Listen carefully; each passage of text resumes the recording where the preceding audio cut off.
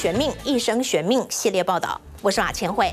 根据卫福部统计，心脏疾病一直是国人十大死因第二名，每一年夺走超过两万条人命。谈到心脏，振兴医院院长魏征是台湾首屈一指的权威，完成台湾首例心脏移植，换过五百例心脏。他的工作就是跟死神抢人，最怕病人出事。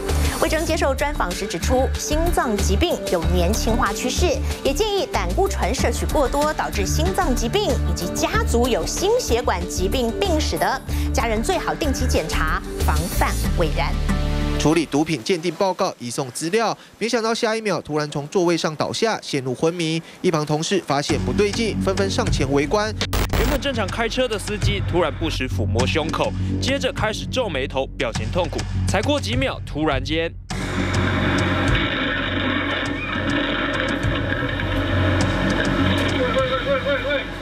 不管是追查毒品的警察小队长，或是认真开车的驾驶，都是突然胸痛，接着心肌梗塞到休克，时间紧迫到连开口求救都来不及。一个是主动脉剥离，一个是冠状动脉病变，都是常见的心脏疾病。他们都正值壮年，身强体健。他自己以为他不会有病，他以为他很强壮。可是你身体再怎么强壮，当心脏一出问题的时候，其他的强壮就没有用了。缝补过无数心脏的魏增，他的工作就是跟死神抢人，在满档的门诊开会行程外，现在每个月还有十几台刀。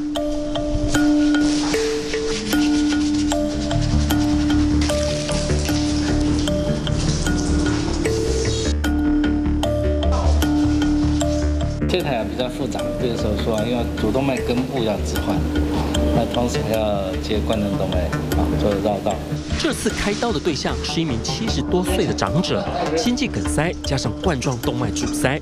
别以为只有老年人会有心脏问题，根据卫福部统计，国内大约有一百四十五万人有心血管疾病，十五岁以上的民众每十九人就有一人有心脏疾病。这类手术风险高，魏征都尽量亲自上场。在台上，我们往往是两个主治医师，而不是一个主治医师。那目的是什么？让这个手术可以更顺利。就是我们的助手本身都是主治医师。心脏手术从上午八点进去，结束已经是下午四点，手术成功了。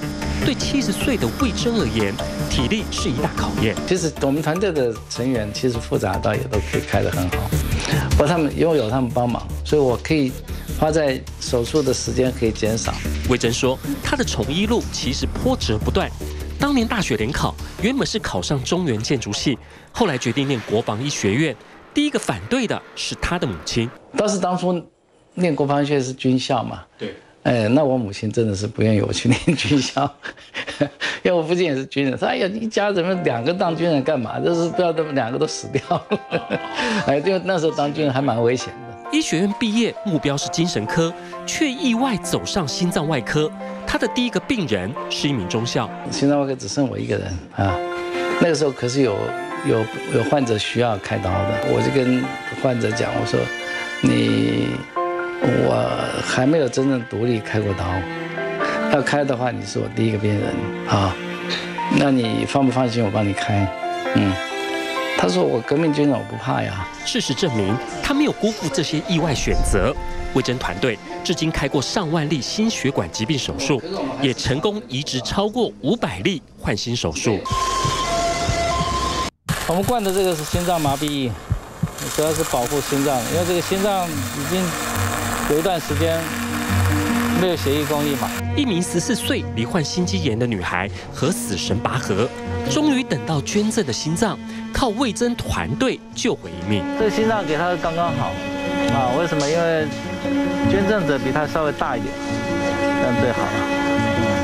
你看，很有力心脏非常好，我们是应该全世界第一个开始用心脏麻痹仪的，我们自己配，都别人没做过的事情，哎，要不然别人做过你就，嗯，我我倒不是为了要要要创做什么创举，是因为实际的需要，哎，你不这样做，他病人就死了。魏征说，当年光是调配使用心脏麻痹液，手术就多救了许多人。一九八八年，在台湾前四例换心手术都宣告失败后。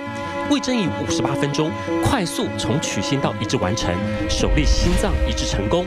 而这位换心的异变存活十年，同时写下全亚洲存活最久纪录。随后一路走来，他创下多个全球第一，包括首例置放全人工心脏后，成功完成心脏肾脏移植；首例自体心脏移植；首例以不输血的方式为两岁幼童换心，以及成功移植一枚最长缺氧十三个小时的心脏。魏增换心技术享誉国际，他可以一针见血的去找到问题点，然后快速的处理。我相信这是一个天分。那也是一个，嗯，一个长时间训练的过程。曾经有一次内科做导管手术，结果心脏穿刺的过程位置偏了，主治医师不敢拔管，打算紧急开刀，被魏征挡下，让病人少开不必要的刀。可是院长的看法不一样，他认为那个管子经过的地方都是很结实的组织，而且没有什么重要的血管，所以。你如果把那个管子直接拔掉，也不会有什么事。所以，这个就是胆识加上专业。最重要的是，他说你们可以拔掉，有事我负责。那我们也真的拔了，什么事也没有发生。我们这边训练了不少。一支团队中有不少是跟随魏征从三总到振兴超过三十年的好伙伴，对魏征一切为病患考量。继续学习更好的开刀技术，记忆犹新。有一次我看到他哎下刀怎么今天心情特别愉快，好，那我就问他了，我说，啊老师啊今今天怎么这么高兴？嗯，他讲了一句，他说，哎，我发现了我还有进步的空间。因为你只要对病人好的事情，你所有的一切做法，你第一病人优先。病人只要是怎么样会对病人比较好，你都不应该是坚持自己的意见。和其他医院不同的是，这些心脏手术辉煌记录几乎都是内外科共同缔造的成果。呃，我们做诶支架瓣膜，哦，那我们也是心脏内外科一起来做，哦，那这样子的话呢，你的成果会还会比较理想，病人相对是安全的。比较复杂的一些病病况哈，两科一起讨论。一讨论，然后呢，有一个共识，甚至有时候把，呃，病病患呢家属都找来，大家一起讨论，就让这个这些。决定呢，大家能够共享，然后做出一个最好的决定。心脏移植权威团队同样也得面对重症人才荒的问题。大家读了一学期之后，也会有自己的想法。那这个想法除了是自己的兴趣之外，当然还会再考虑到未来的生活品质啊，或者是一些未来的生活的 income 那些的。比较说，哎，我干心脏外科，你看我开个这个刀，一天开一个，辛苦的要死。那你做做别的治疗、手术一些处置的话，可能一下子三分钟、五分钟做完了，结果那个，呃，拿的钱还比较多哈，可能就会会做比较。这些未来的准医生观摩了心导管手术两个多小时，实习结束，对外科仍然兴趣缺缺。心胸外科每年有训练这么多的这个，哎，专科医师，好，大大概大部分都去做血管。哦，那真正踏入到心脏的，就就更少。哦，那这个是我们比较担心的了。为了解决重症医师人才荒，卫福部从二零一三年开始补助五大科住院医师，每人一年十二万元津贴。不过，根据国家卫生研究院推估，两年后光是外科医师不足，将达到一千五百一十九人。呃，他会觉得我要做医生，我就要做个心脏外科医生。啊，他会觉得这个是直接救命，直接救命，啊，比较有成就感，啊，所以还是有一些不错的医生会进到心脏外科。看过许多从鬼门关走过的病人，尤其是没有心脏病史却突然发病的案例，有年轻化的趋势。魏征提醒。许多患者会在二十五岁就出现了三高症状。现代人生活压力大，作息不正常，饮食不均衡，肥胖也是对身体健康的一大危害。尤其是家族如果有心脏相关病史，最好定期做身体检查。你看看你的家族史，呃，你父母兄弟姐妹，假如说，呃，都有冠状动脉的问题，呃，就或者都有中风。这都是心心脏血管这这一系列的问题嘛哈，那你就要比较早一点去注意注意这个事情，不管是做可能做检查，或者好好把血压控制好。每天众多决策等着他，从病人的治疗方向、手术应变到管理一家医院，他分享自己的体会。快乐不是因为出名，也不是赚了多少钱。你要靠这个赚钱，实在不太好赚了。医生不好赚了。我今天动这个手术做得很漂亮，做得很成功，自己也觉得很高兴。啊，这个是医生的满足感、成就感，啊，来自于什么？来自于这个，呃，我这个手术。魏征已经是世界级名医，传闻曾经有大陆医疗机构打算出上亿元人民币挖角，但是他仍然选择留在台湾，在第一线拯救病患，带领着团队当全台最会开心的医生。国标舞女王刘真今年三月因为心脏疾病等不及换心过世。其实台湾每年有八十到一百人可以等到换心，目前亚洲存活最久的换心人就在台湾，换心至今已有三十年，即将打破世界纪录。我们专访李秀英谈及换心历程，当年被医院宣判无药可救的情况下，只有魏征团队愿意救他。好不容易挨过换心手术，却又两度离癌，李秀英坚强走过。带您来看亚洲最久换心人的重生岁月。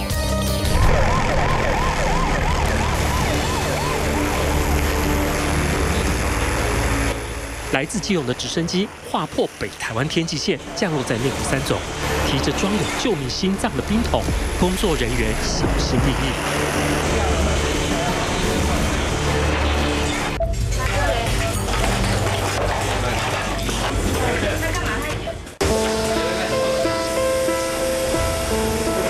要么好了就好了，要么就提前走而已。换心手术生死一线，却是李秀英重生唯一希望。回想那一年，她才二十三岁，未来还有好长的一段路要走。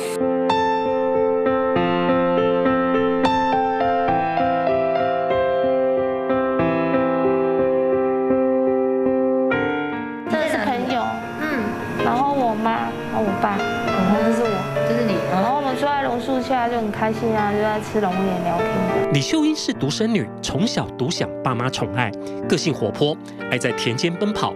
国小时还是跑步健将。我小参加运动会跑，然后我其实那时候很会跑步，嗯，我运动算还 OK 的。身体健康的她，从小到大极少就医，却在二十一岁时，一场突如其来的感冒，意外引起心肌病变，呼吸越来越困难。两年来做过无数的检查，结果都是束手无策。他就叫我爸到旁边，然后因为我离的位置不会很远，我就坐在轮椅上面。他跟我爸说我没救了，叫就是可能要办出院回去这样子。觉得说好没救就没救了，那就回家吧，不要浪费时间。李秀英的父母害怕失去女儿，还是四处求医。直到找上当时三军总医院最年轻的外科部主任、世界知名心脏外科权威魏征，得到的答案：要活只能靠换心手术。他就问我们要不要，可是呢，要你也要等，因为他是必须要配对各方面符合的话，那就是可以顺利等到心脏。那如果不符合的话，那可能就要再等下一个。原以为遥遥无期的等待，在三个星期后传出好消息，紧急进入开刀房。新的心脏在胸腔里强烈跳动，支撑虚弱身体，维持生命力。李秀仪终于能够面对镜头，轻轻挥手，摸到许久未碰的牙刷，也能下床走走，身体各项机能慢慢恢复。身旁的老父亲终于能放下心中大石。你就跳个舞嘛，没没有人看你，怕什么？我不会跳舞啊，真的。重生后，李秀英持续往前，享受工作，享受生活，也去了十几个国家旅游。我一样去游泳，我一样去滑水道滑雪，我一样去爬山，我一样去跑步。你不要去认为说，我现在这个心脏，我要好好保护它，反而你这样子会更让自己心情不好，你的生病指数就会更高。二十三岁的身体和三十七岁的心脏共存至今三十年，如今李修已经是亚洲存活最久的一位换心人。二零二四年更将破纪录，成为全世界存活时间最长的心脏移植者。所以我还蛮感谢，就是这位，就是算大哥，他三十七岁，然后就是捐这个心脏给我，然后让我现在活到现在。拥有稳定的工作，活得自由，活得快乐，但唯一的遗憾就是每天必吃的抗排斥药物，导致他难以正常怀孕，拥有自己的孩子。你吃药，你的药会影响到你的胎儿啊，就像你怀孕，你也不能乱吃药吧？他可能会基因突变啊。以前刚开始会啦，就会觉得好遗憾哦，我自己那么喜欢小孩，可是就没有小孩，我很想要穿婚纱，然后我也没有办法，也没有穿婚纱。可能我想要的，可能就没有的同时，到了某个年龄，你就会转一个想法，就是说啊，可能就是我一直讲缘分，就是没有嘛，那没有没关系，那你就把别人的小孩当小孩。别人在结婚的时候，你就祝福他，觉得很开心。根据医学研究，抗排斥药物会透过胎盘进入胎儿，药物在新生儿的体内浓度是成人的一半，对胎儿脑部、心脏和肾脏会有不良影响，加上怀孕会造成心脏负担。医学界普遍认为，心脏移植后生小孩这件事对母亲和胎儿都相当危险。在使用这个药物抗排斥药物的时候，大家要小心，不要让。让病人产生了并发症，比如说，呃，感染呐，或者是排斥的问题。身体的免疫力降低的时候，就比较容易有癌症。走过了换心，李秀英每年定期检查，却在二零一四年发现罹患子宫颈癌，没多久乳癌也找上门，还好及早发现，及早治疗。但免疫功能低下的状况，随时得面对病毒侵袭。一条。嗯，哎，这个是这么长，嗯，这个是什么？这是里面破一个洞。因为器官移植每天必吃的抗排斥药，可维持心脏不受排斥，后遗症却是小便不断。他进出医院就像走厨房，但李秀英不后悔，因为有心，自己才能拥有有喜有悲的人生，真正的活过一回。觉得转念这件事情是很重要的，不然一个人他可能会在那个胡同在那，那你要用最快的速度恢复，因为你的生活毕竟还是要过。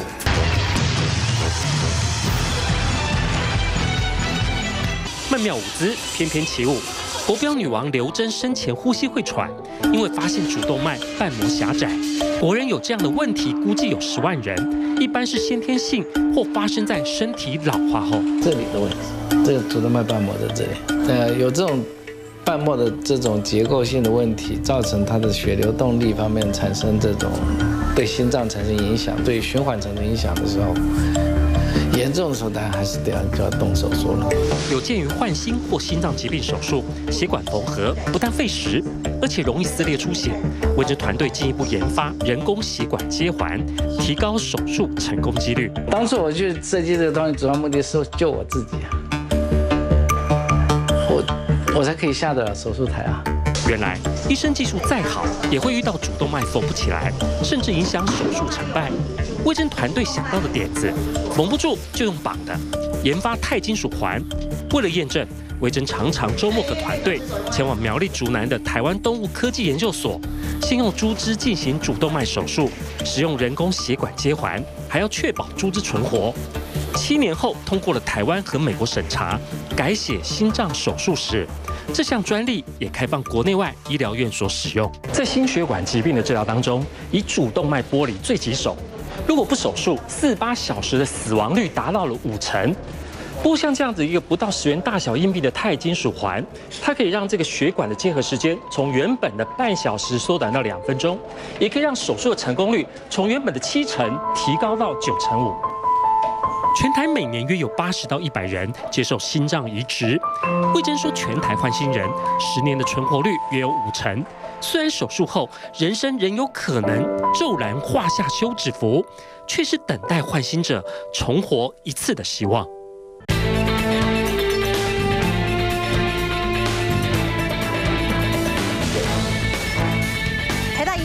外科名医黄惠夫曾经为八仙晨报二十名伤患成功进行手术，没想到十二年前为一名少年动手术发生医疗纠纷，黄惠夫遭控业务过失致重伤害罪，日前终于获判无罪。在医界掀起热议。根据卫福部统计，近三年医疗纠纷案件平均一天就有一件，其中八成起因医病沟通不良。有鉴于此，各大医院相继推出医病共享决策。和以往看病最大的不同，病患能够和医生共同决定医疗决策。你好，我是小薇。然后我在日间病房已经有很长的将近二十几年的时间了。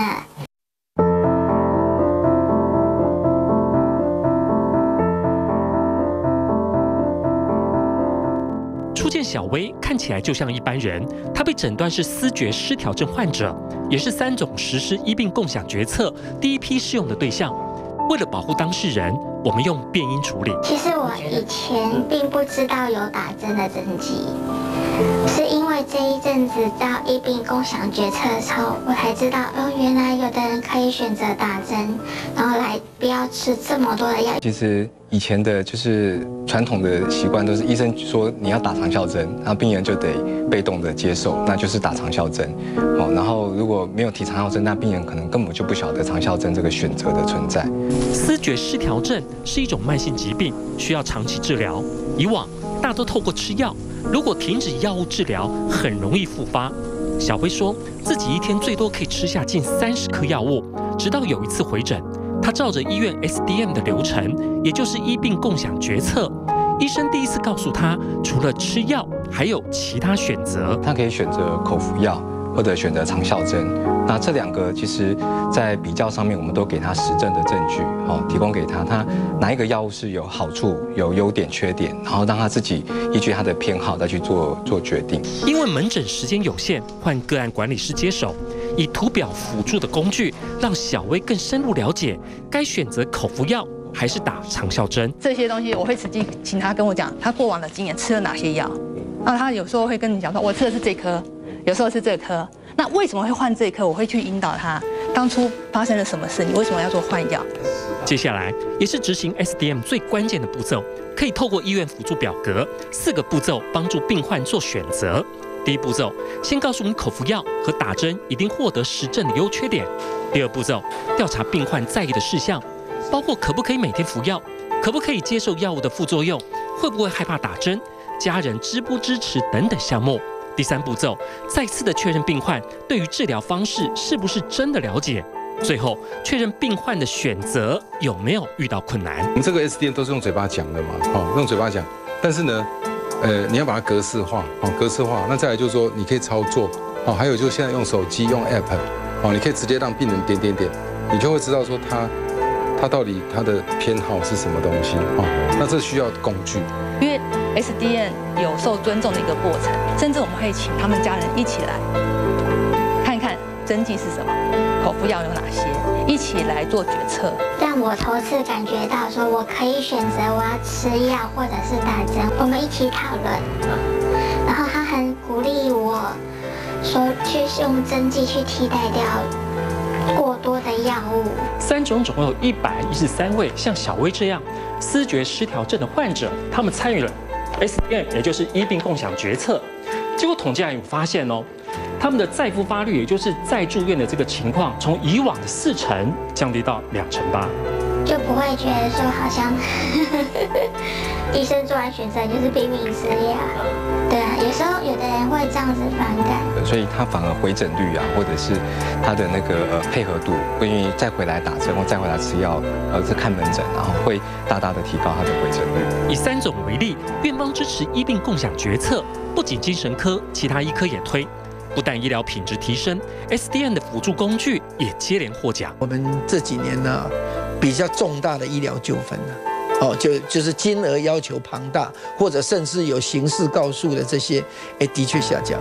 其实如果你认真的来推啊，的确内化以后产生一种文化，对整个医病的关系、医疗的结果跟品质啊，其实是会提升的。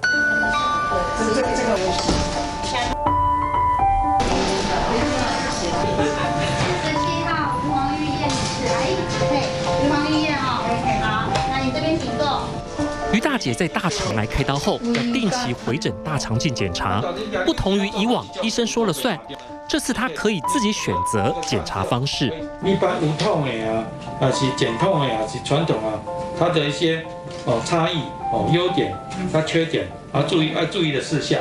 哦，以前你头一摆做的都都无安尼讲嘛，对吧？哦，那我们今嘛就提供新推出几种，一这叫做医病共享决策辅助表啦。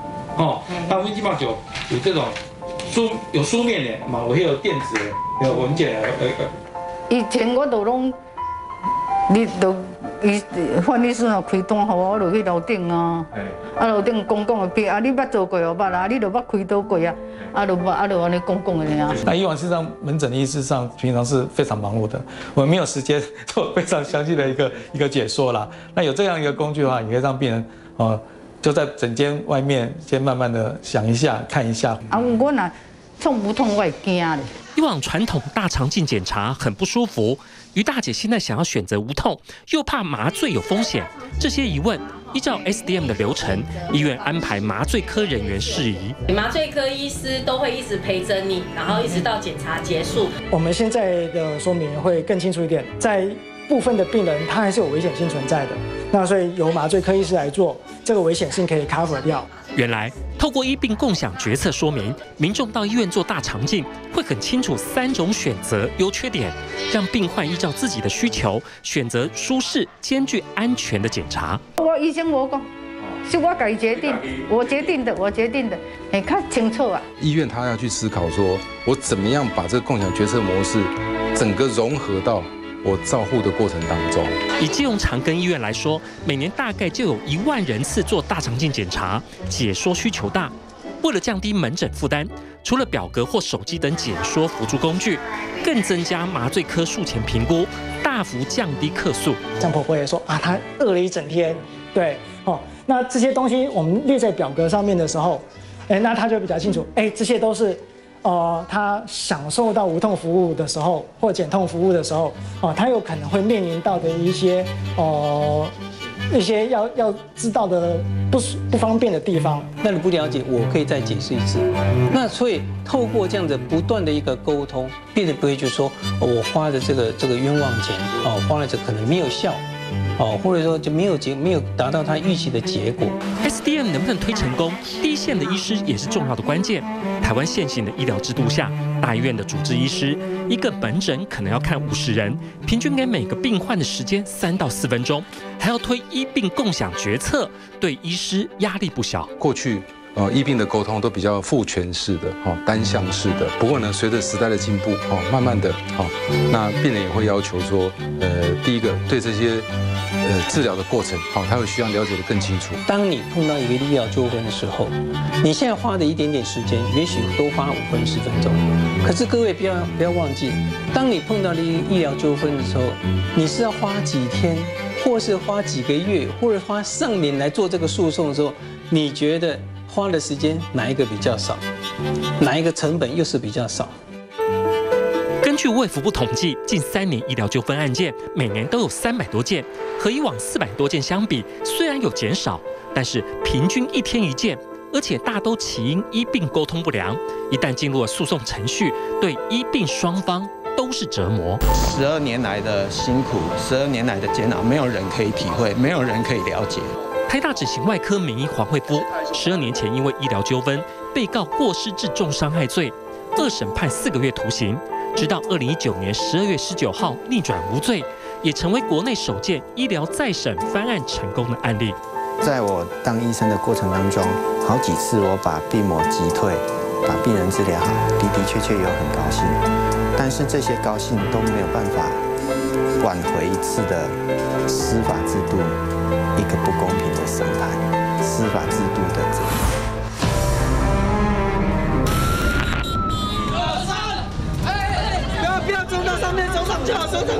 二零一五年八仙尘爆事件，二十名烧烫伤病患送到台大急救，大都有生命危险。当时开刀的主治医师就是黄惠夫，一整晚几乎没合眼，总算救回所有病患。当时我还有。医疗的热忱的时候，就算差个三秒五秒，我也认为我应该要帮病人去多争取三秒到五秒的机会。医师的工作是救人，也是黄惠夫信守的职责。没想到，二零零八年，黄慧夫替一名无照驾驶出车祸，右小腿重伤的少年动手术。五天后，少年自行转院，却发现小腿持续内出血，认定组织坏死，最终导致截肢。家属控告黄医师业务过失致重伤害罪，一审无罪，二审当时判刑四个月。啊，对一个医生而言，名誉是非常重要的。十年前我头发不是这么白，这十年来我头发都白了。虽然是轻罪，但是连带影响医院升迁、进修，甚至当时原本好几个研究案全都无疾而终。是不是我们在救病人之前，先要把自己的防御力做好，先保护好自己？而这个保护自己，你是做司法性的防御，而不是病魔性的防御。这听起来就更可笑了。即使最终司法还黄医师清白，但是对医病双方而言，诉讼结果没有赢家。医师甚至可能失去热情，采取防御性医疗，以免被告。目前医界发起的医病共享决策，有助于翻转冰冷的医病关系。尤其是我们会进行这个 SDM 这些项目哈，通常都是比较要紧的哈，牵涉到比较重大的手术哈，比较昂贵的药品哈，或者是牵涉到很多生与死的抉择啊哈。那这些时候呢，这个就不是说哦可以把这个责任呃。推到医护人员这边来，哦，甚至呢，有些呃决定哦，那个家属他还要跟他自己的家属里面的其他的家属哦做决定。共享决策是医病互动的平台，医生提供各种治疗的方案，病患提出喜好和价值观，双方交换资讯讨论，共同决定可行的治疗方式，以达到医病双赢的目的。